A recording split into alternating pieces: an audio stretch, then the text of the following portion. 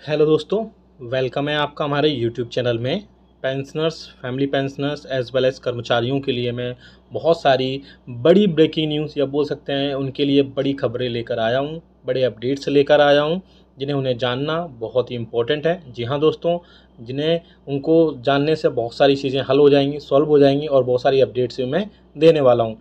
पूरे वीडियो में लास्ट तक बनी रहिए और अगर चैनल पर पहली बार आएँ तो चैनल को ज़रूर सब्सक्राइब करिएगा।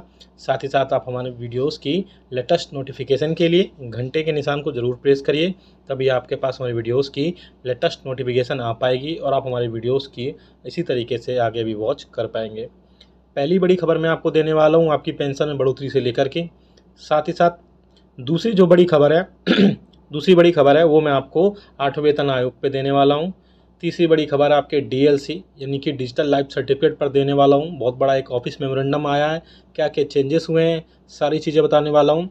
साथ ही साथ जो नेक्स्ट बड़ी अपडेट है, वो मैं आपको फिक्स्ड मेडिकल अलाउंसेस पर देने वाला हूँ। आप सभी को पता है कि फिक्स्ड मेडिकल अलाउंसेस को, के रूप में आप सभी को एक हज़ार रुपये मिलते हैं, जिससे उनके आपकी पूर्ति नहीं हो पाती हैं। तो क्या उसके रिगार्डिंग आंसर आया है, वो सारी चीज़ें मैं आपको इस वीडियो के ज़रिए आप सभी को बताने वाला हूँ। यहाँ दोस्तों चलिए आपका सीधा लेके चलते हैं पहली बड़ी खबर पर। पहली बड़ी जो खबर आ रही है, आप सभी को पता है कि मौजूदा समय में आपकी पेंशन या जो आपकी फैमिली पेंशन या बोल सकते हैं पारिवारिक पेंशन है, वो नौ हज़ार रुपये तय की गई है। सातवें वेतन आयोग के रिकमेंडेशन के हिसाब से इस तरह अब इस कड़ी में ऐसे कयास लगाए जा रहे हैं कि आसमान छूती महँगाई के दौर में सरकार देश भर के लाखों पेंशनर्स को पेंशन में बढ़ोतरी का तोहफा दे सकती है। जी हाँ दोस्तों, एक, जो प्रिंट मीडिया में छपी खबर के अनुसार इस बात की चर्चा पिछले लंबे समय से कई प्लेटफॉर्म पर की जा रही थी। अब सरकार ने कार्मिक मंत्रालय के मंत्री से लोकसभा में पेंशन या पारिवारिक पेंशन राशि बढ़ाने के सवाल पर एक लिखित उत्तर दिया है। जी हाँ क्या लिखित उत्तर दिया है? सरकार ने बोला है कि लोकसभा में एक लिखित उत्तर में बताया गया है कि सरकार की न्यूनतम पेंशन राशि की बढ़ोतरी की अभी ऐसी कोई योजना नहीं है। जी हाँ दोस्तों मैं पहले भी बता चुका था मौजूदा समय में पेंशन या पारिवारिक पेंशन की न्यूनतम राशि नौ हज़ार रुपये तय है। इससे उन, उन्होंने आगे बताया कि अभी देश भर में चवालीस लाख से ज़्यादा पेंशन धारक हैं जिन और जिसके अलावा बीस लाख से अधिक पारिवारिक पेंशन धारक हैं। इन पेंशन धारकों पर वित्त वर्ष दो हज़ार बाईस तेईस में सरकार का काफ़ी करोड़ रुपए खर्च हुआ है। ऐसे में इस राशि में बढ़ोतरी की कोई भी जानकारी की योजना नहीं है। तो मैंने पहले भी बताया था कि एक लोकसभा में क्वेश्चन पूछा गया था। इस क्वेश्चन में गवर्नमेंट से पूछा क्वेश्चन पूछा गया था कि क्या सरकार सातवें वेतन आयोग के रिकमेंडेशन के हिसाब से जो पेंशन और फैमिली पेंशन की न्यूनतम राशि नौ हज़ार रुपये तय की गई थी, उसके बढ़ोतरी की सरकार क्या कोई योजना बना रही है? क्या कोई प्रपोजल तय किया गया है? तो गवर्नमेंट ने आंसर दिया है कि ऐसा कोई भी मिनिस्ट्रियल या इंटर मिनिस्ट्रियल प्रपोजल सरकार के पास नहीं नहीं है, जिससे कि कर्मचारियों और जिससे कि सॉरी पेंशनर्स और फैमिली पेंशनर्स की न्यूनतम राशि जो बेसिक है, वो नौ हज़ार रुपये से आगे बढ़ाया जा सके। उन्होंने ये भी कहा कि इसमें अभी छासठ लाख जो सॉरी चौंसठ लाख से लेकर पैंसठ लाख जो पेंशन धारक हैं, उनसे रिलेटेड और भी कई सारी चीज़ में अपडेट आई हैं, मैं आपको वो अपडेट भी दे देता हूँ। दूसरा बड़ा जो अपडेट आया है, वो फिक्स्ड मेडिकल अलाउंसेस के लेकर गए, आया हुआ है। आप सभी को पता है कि आप सभी को ऐसे पेंशनर्स और फैमिली पेंशनर्स जो कि non C G H S यानी कि सेंट्रल गवर्नमेंट हेल्थ स्कीम के कवर्ड एरियाज़ में नहीं रहते हैं यानी यानी कि जहाँ पर उनके हॉस्पिटल्स नहीं हैं, डिस्पेंसरीज नहीं हैं, या फिर वेलनेस सेंटर नहीं है, वहाँ पर उन सभी को एक हज़ार रुपये के लिए रूप में मिलते हैं ड्यू टू एक हज़ार रुपये के रूप में मिलते हैं ओपीडी मेडिसिन के खर्चे के रूप में। लेकिन ऐसे में पेंशनर्स और फैमिली पेंशनर्स की यूनियन और फेडरेशन ने लगातार सरकार से रिक्वेस्ट की थी कि इसमें जो है कर्मचारियों स्पेशली जो पेंशनर्स और फैमिली पेंशनर्स है, उनका फिक्स्ड मेडिकल अलाउंसेस एक हज़ार रुपये से बढ़ा करके तीन हज़ार रुपये किया जाए। हालाँकि ministry of health and family welfare की तरफ़ से एक आंसर भी आया है। उस आंसर में क्लियरली मेंशन किया गया है कि वो पूरा जो मैटर है, यानी कि एक हज़ार रुपये से बढ़ा करके तीन हज़ार रुपये करने का जो पूरा मैटर है, वो मैटर अंडर कंसिड्रेशन है और जल्द से जल्द उसमें कोई ना कोई बड़ा फैसला ले लिया जाएगा।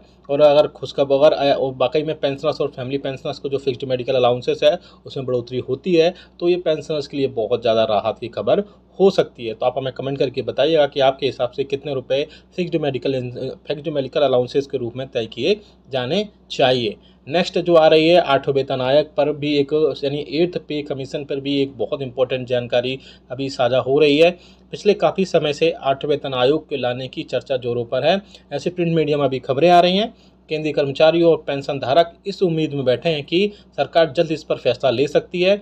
अब सरकार के वित्त राज्य मंत्री मिस्टर पंकज मिस्टर पंकज चौधरी ने आठवें वेतन आयोग लाने पर राज्यसभा में एक लिखित जवाब में उसकी स्थिति जो है, यानी कि आठवें वेतन आयोग की जो स्थिति है वो साफ़ की है। उन्होंने कहा है कि केंद्रीय कर्मचारियों और पेंशन्स के लिए आठवें वेतन आयोग लाने का अभी कोई चर्चा सरकार के अंदर नहीं चल रही है। उन्होंने कहा कि सरकार सैलरी स्ट्रक्चर में 10 साल से पहले बदलाव करने पर कोई भी विचार नहीं कर रही है।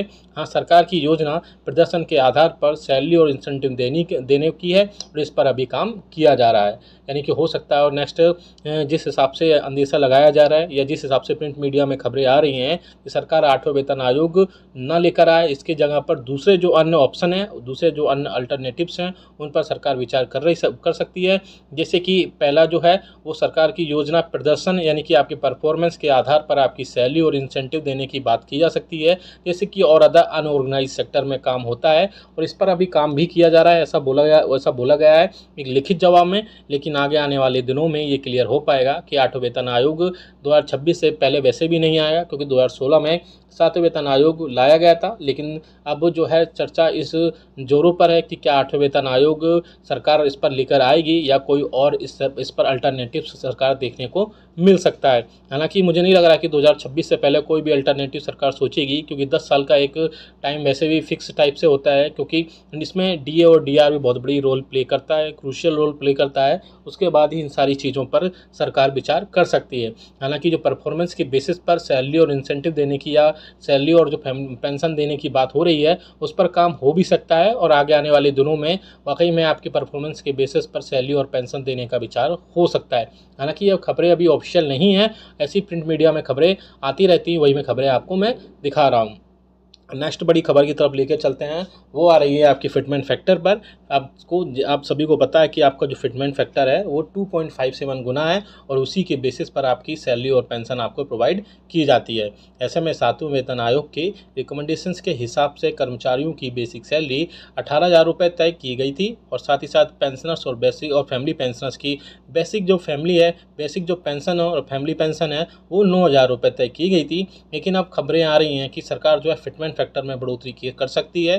जैसा कि आप सभी को पता है कि 2.57 गुना के बेसिस पर अफिटमेंट फैक्टर में बढ़ोतरी के बाद में ये 3.68 गुना तक हो सकता है और अगर ये 3.68 गुना तक बढ़ोतरी इसमें वाकई में हो जाती है तो पेंशनर्स और फैमिली पेंशनर्स को बहुत ज़्यादा राहत मिलने की उम्मीद जताई जा रही है। जानकारी के लिए आपको बता दूँ कि इसका फ़ायदा फ़ायदा जो है कर्मचारियों को भी बहुत ज़्यादा मिलने, मिल सकता है। क्योंकि फिटमेंट फैक्टर बढ़ने से कर्मचारियों के साथ में पेंशनर्स और फैमिली पेंशनर्स को भी इसमें बहुत ज़्यादा राहत मिलने की उम्मीद जताई जा रही है। वीडियो कैसा लगा, आप हमें कमेंट करके ज़रूर बताइएगा। साथ ही साथ फिक्स्ड मेडिकल अलाउंसेज और आपकी बेसिक पेंशन में कितनी बढ़ोतरी की जाए, वो हमें कमेंट करके ज़रूर बताइए ताकि और वीडियो को जितना हो सके लाइक करिएगा, शेयर करिएगा, चैनल को सब्सक्राइब करिएगा।